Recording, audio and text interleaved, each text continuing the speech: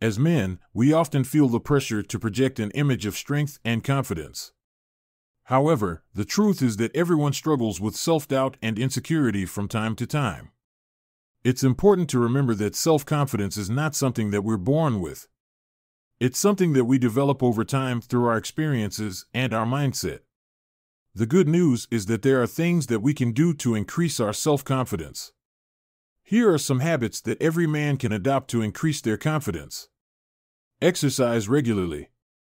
Exercise is a great way to increase self confidence as it not only improves physical health, but also releases endorphins, which help to reduce stress and anxiety. Practice good posture.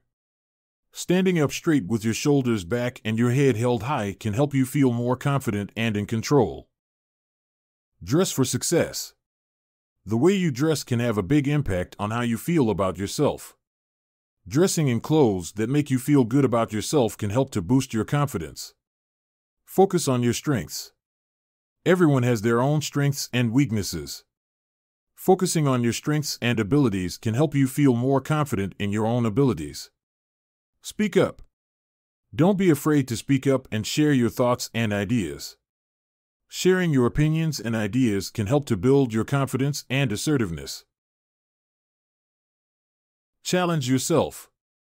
Pushing yourself out of your comfort zone and taking on new challenges can help you to grow and develop your confidence. Practice positive self talk. Replace negative thoughts with positive ones. Instead of focusing on what you can't do, focus on what you can do. Learn new skills.